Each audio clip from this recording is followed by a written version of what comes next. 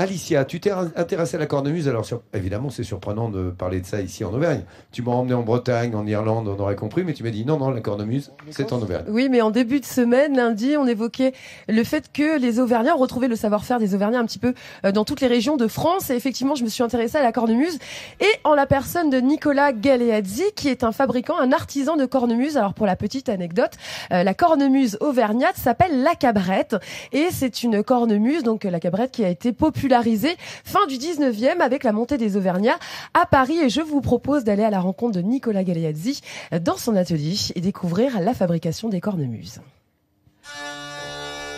Cette musique qui résonne au cœur des volcans d'Auvergne, vous la connaissez, mais d'habitude vous l'entendez plutôt en Bretagne ou en Écosse. Et pourtant, nous sommes bel et bien dans les rues de Clermont-Ferrand, la capitale du Puy-de-Dôme. Ici, dans cet ancien atelier de tapisserie, les tissus ont laissé place au bois ainsi qu'aux peaux. Et ces matières servent à une seule chose, fabriquer des cornemuses. Nicolas Galeazzi a 42 ans, il est originaire d'Uriel, un village médiéval auvergnat. Et cet enfant du pays exerce un métier bien original, il est facteur de cornemuse, autrement dit, il fabrique ses instruments avant.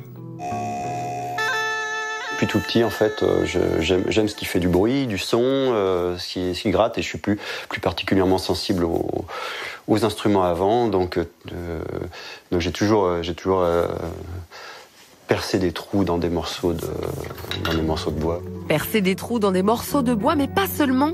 Fabriquer une cornemuse, c'est tout un art. Et pas n'importe quelle cornemuse.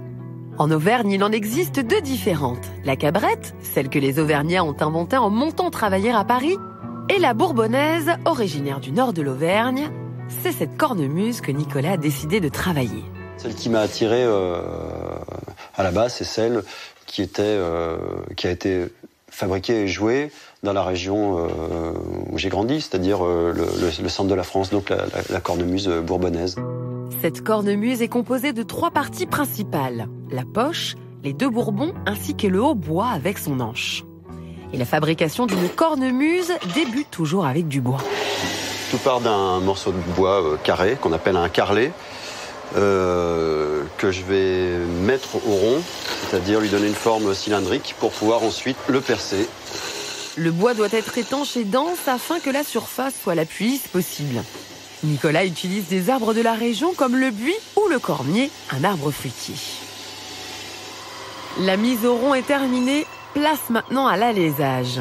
Cette étape consiste à creuser l'intérieur du futur au c'est-à-dire lui donner sa forme conique, et ce, grâce à cette tige en fer, un alésoir. Après ces premières étapes, Nicolas doit tremper dans l'huile les deux bourdons et le hautbois. Voici ce qu'on obtient après plusieurs jours de séchage.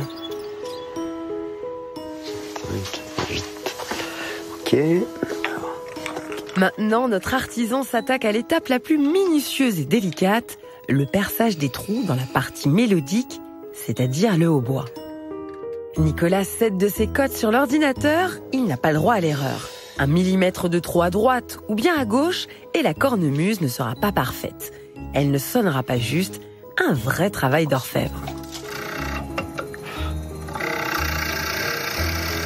À force de, travailler sur l'instrument, il me semble avoir trouvé un, équilibre dans la position des trous qui fait que j'ai un instrument euh, fiable. Le bois est une matière que Nicolas doit savoir travailler, maîtriser. Mais ce n'est pas le seul matériau puisqu'il travaille également le cuir. Moi, j'aime tout, les, tout ce qui se rattache à la fabrication de, de, cet instrument. Disons que ça me fait. Si je travaillais que le bois, euh, ça serait, serait pas, pas marrant, justement, euh, de, pouvoir travailler d'autres matériaux, de faire d'autres, de, la décoration, des, choses comme ça, travailler le cuir et le. Ça apporte un peu de variété dans le travail que je fais tous les jours. Le cuir est utilisé dans la fabrication de ce que l'on appelle la poche. On utilise euh, maintenant de, de la vachette. Euh, qui est un cuir qui va rester souple euh, dans le temps, qui va se, et puis qui s'étanchéifie euh, assez facilement. Nicolas découpe dans la peau suivant un patron, puis colle la poche pour pouvoir la coudre plus facilement. Tous les éléments sont maintenant terminés. Il reste encore un accessoire indispensable à fabriquer, l'anche. Qui permet au son de vibrer et donc à la cornemuse de fonctionner. C'est le premier élément qui reçoit le souffle du sonneur. En résumé, l'anche met l'air en vibration dans tous les tuyaux. Donc deux façons de faire les anches. En fait, euh, euh, soit euh, matériaux synthétiques, soit roseau. Le roseau, comme c'est ce qui a toujours été utilisé depuis les origines de l'instrument, ou le, donc le synthétique, qui est beaucoup plus facile d'utilisation. Aujourd'hui, notre facteur de cornemuse choisit de fabriquer devant nous une hanche synthétique en utilisant tout simplement une boîte de fromage blanc. Dernier réglage. Ça y est, la cornemuse est terminée. Il ne reste plus qu'à Nicolas qu'à la tester.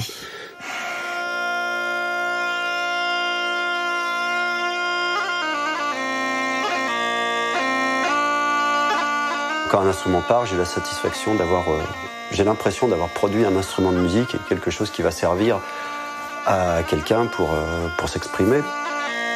Cet artisan passionné fait perdurer un savoir-faire ancestral, une musique traditionnelle. Une chose est sûre, le patrimoine auvergnat n'est pas prêt de s'essouffler.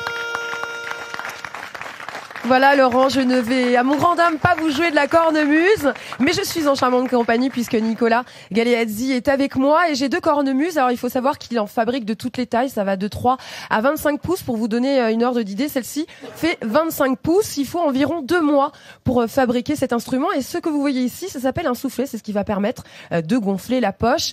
Et Nicolas, pour vous remercier de ce savoir-faire, je vous remets avec beaucoup de fierté ce talent mis en France.